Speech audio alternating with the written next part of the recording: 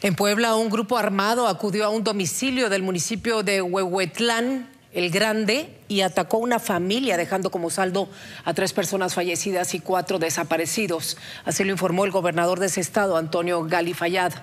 El mandatario estatal informó que una de las líneas de investigación es el asunto de ajuste de cuentas entre grupos delictivos y agregó que también se investiga la posibilidad de que personas dedicadas al robo de combustible estén implicadas.